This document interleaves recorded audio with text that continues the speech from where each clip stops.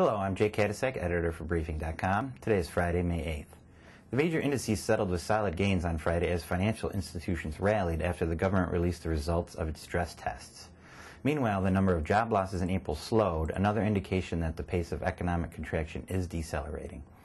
Eight of the ten economic sectors posted a gain, with financials leading the way, surging 8.3%.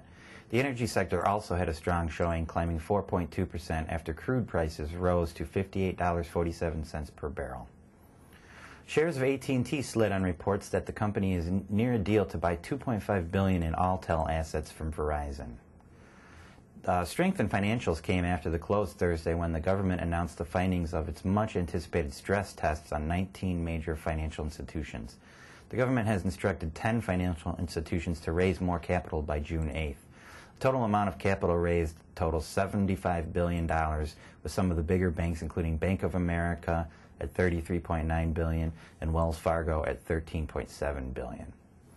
In other notable corporate news, shares of McDonald's rose 2.9% today after the fast food giant reported April same-store sales rose 6.9%, the 72nd consecutive monthly increase. In economic news, wholesale inventories dropped 1.6% in March after falling 1.7% in February. The decline was worse than the consensus estimate that called for a 1.0% decline. The major indices gave up some gains after the release, but the market managed to trend higher throughout the session, eventually climbing above pre-release levels. Separately, the key economic report this morning was the April employment report. The uh, decline in payrolls of 539,000 was better than the expected decline of 600,000, but still represents bad economic news. Several prior months were revised lower, and the unemployment rate jumped to 8.9% from 8.5% as expected.